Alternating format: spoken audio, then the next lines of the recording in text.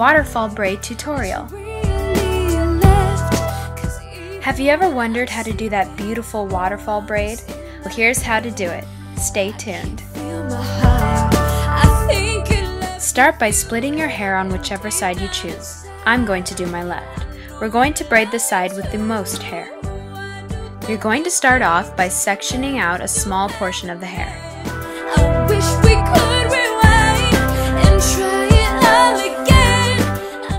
Then separate that section into three mini sections, which you will braid as you would a normal French braid.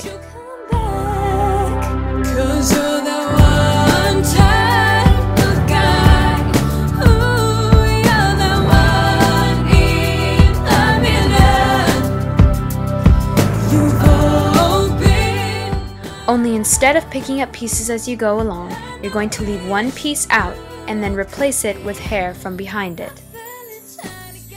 Continue doing this until you get to the back of your head.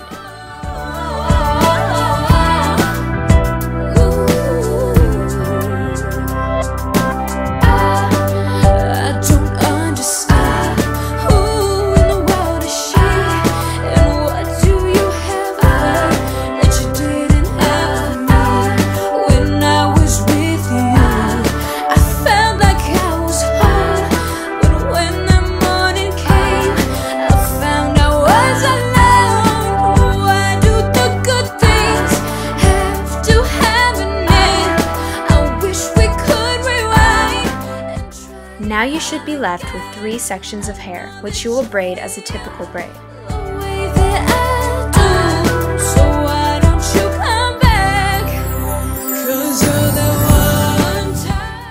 Secure it with a rubber band. Release the sections of hair you've been separating from the braid. And this is what it looks like. Here's the back view. Now time to add your own flavor. I'm going to add what I call my hippie headband. You can also curl the ends of your hair, which I do in my cover of Boyfriend by Justin Bieber. To check out my cover, click on the red box above.